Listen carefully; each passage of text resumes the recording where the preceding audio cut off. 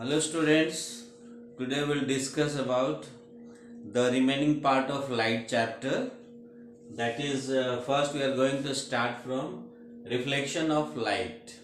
What is the reflection of light? Bouncing back of ray of light from the surface. Ray of light which is falling on the surface and it is bouncing back from there that is known as reflection of light. In this figure you can see it is a light ray falling on the surface and bouncing back. In between there is a normal perpendicular line. This AB is the surface. So if you go in detail OP this OP is incident ray. The ray which is falling on the surface is called incident ray and PQ PQ you can see PQ is the bouncing ray that is called reflected ray. And third MN. MN is the perpendicular line at the point of incidence point P. And uh, AB, AB is the surface. Angle I, angle formed between incident ray and normal. This is angle I, angle of incidence. And angle R, angle formed between normal and reflected ray. This is angle R, angle of reflection. So this is complete figure of reflection of light. Now come to the next, we will uh, discuss laws of reflection. There are two laws of reflections. Number one, incident ray, normal and reflected ray. All these rays, all three rays lie on same plane and number two is the angle of incidence is always equal to the angle of reflection. These two angles are equal. Next we have lens. What is a lens? It is a piece of transparent medium bounded by two curved surfaces. So here two type of lenses are there. Number one is convex lens. Number two is concave lens. Now here we have written some differences between these two. Convex lens, it is thick in the middle, thick in the middle and thin at the edges. It has real focus. If uh, light rays are coming, refracting and meeting at a point. Light ray coming refracting and meeting at a point. That is called focus. So it is having real focus. And in this case light rays are coming and refracting this side this side. To produce them back meeting at a focus this is a virtual focus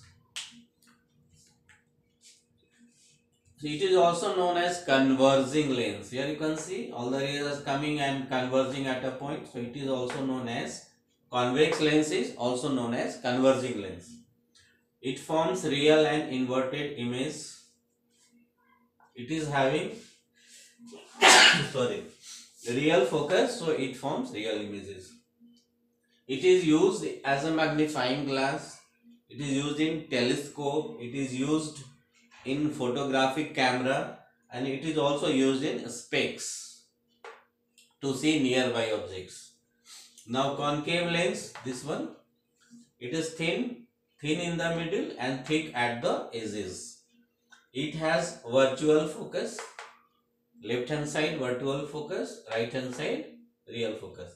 It is also known as diverging lens. It forms virtual and erect image it is used in specs to see far objects, distant objects. Now come to the next that is dispersion of light. What is the dispersion of light? When the ray of light fall passes through a glass prism, transparent glass prism, it splits into seven different colors. This splitting of ray of light in seven different colors is known as dispersion of light. It can be obtained by placing one white screen that is uh, known as spectrum. If we are obtaining seven colors spot on white screen, it is known as spectrum. This is a transparent glass prism and these seven colors are this way here it is written in order from bottom to top V I B G Y O R. The full form is V for violet color, I for indigo, B for blue, G for green, Y for yellow, O for orange and R for red. So these are the seven colors. So you can say the ray of white light is the mixture of seven colors. It was discovered by Newton. With the help of Newton's disk, we can understand it better. We have to take a disk and divide equally in seven parts and color accordingly. All these colors put one by one here in the disk and then uh, arrange to rotate, rotate the disk. If you arrange the disk to rotate, if the disk will rotate, all the seven colors will mix together and it appears white color. It means uh, white color means the ray of white light is the mixture of seven colors. If it rotates, all the seven colors together appear white only. This is Newton's disk. It was discovered by Newton. So, a dispersion of light, its example is rainbow in the sky. Rainbow takes place during uh, rainy days, you can see. That is the example of dispersion of light. So this much only today in light chapter. I think the light light chapter is finished. Just try uh, go through this all, draw the figures and try to understand. Okay. Thank you.